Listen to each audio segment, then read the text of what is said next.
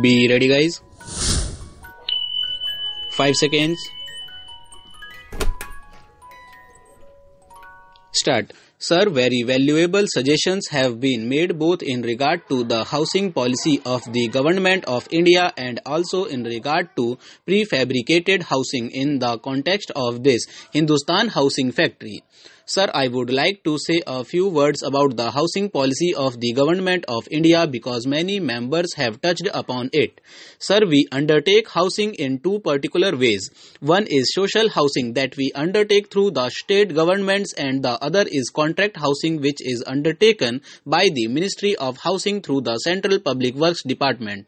As far as social housing is concerned, I fully agree with Shri Sapru that housing occupies a very important place in society. Food, clothing, and shelter, we have always been proclaiming that they are the three tenets of our socialistic pattern of society. And I do admit that as far as social housing is concerned, it has not received the same attention as it should have received in our plans. I am not blaming the planners. After all, they have to take the finances of the country into consideration. They have also to take the state resources into consideration.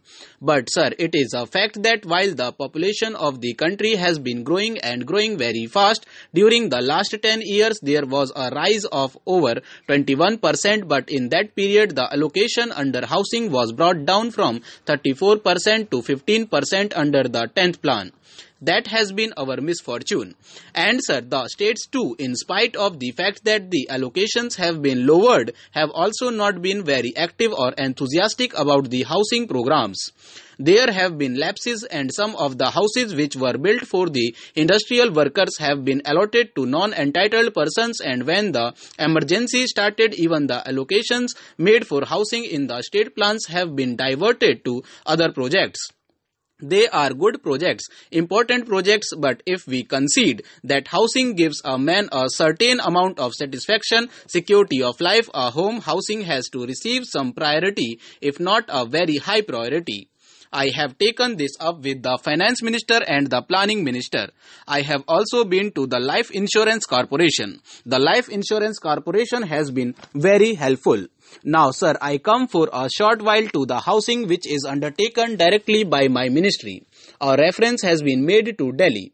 A reference has been made to the unfortunate conditions under which government servants have to live and the last speaker very rightly remarked that the rents in Delhi are on a very high side. I have to accept all those premises. Since I took charge of this ministry, it is nearly a year now. I fully examined the problem from all aspects. I find, sir, that previously we have been more concerned with paying house rent allowances to our government servants.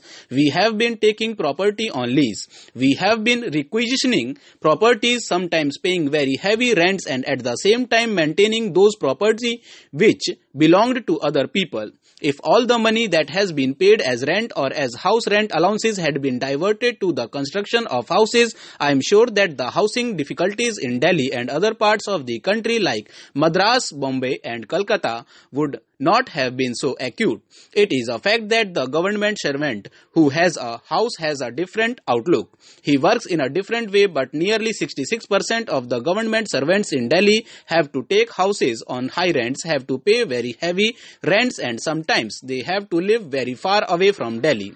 During this year, we have sanctioned housing schemes to the tune of rupees 15 crores. In the last five years of this ministry, schemes were sanctioned only to the extent of rupees 7 crores.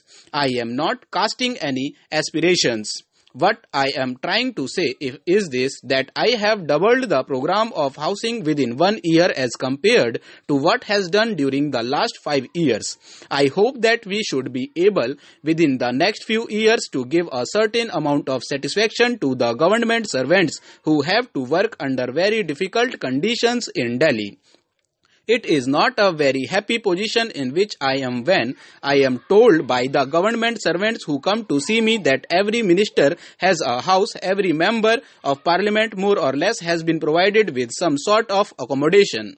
Members of the Planning Commission, judges of the Supreme Court, senior officers, every one of them has a house and that too very near to the place of work. But as far as the poor government servants are concerned, most of them have no accommodation.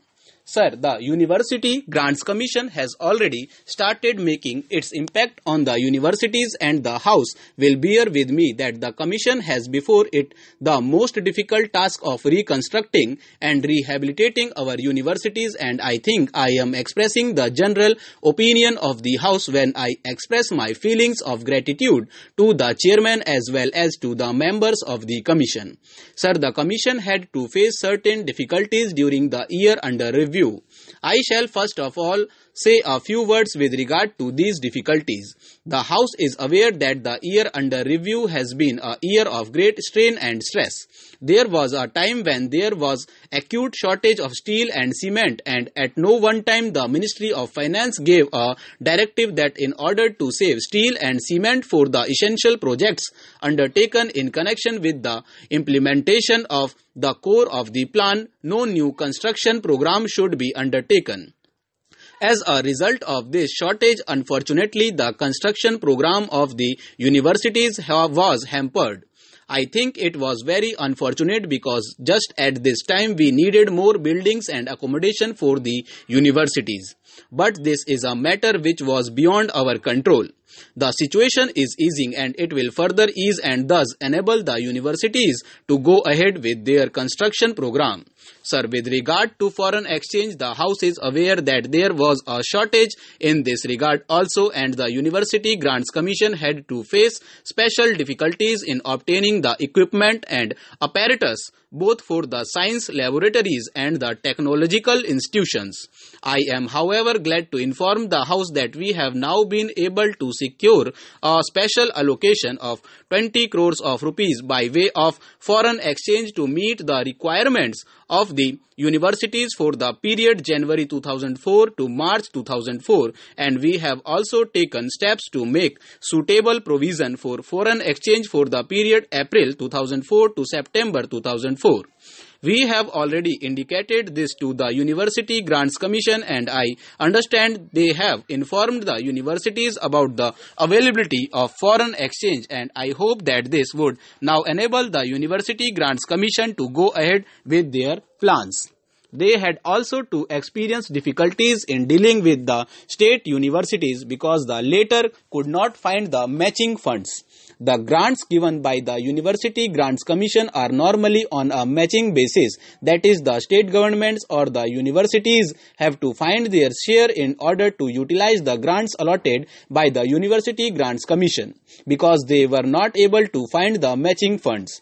We are having discussions with the University Grants Commission to devise some method to resolve this difficulty if some arrangement could be made by means of which the state governments could make their funds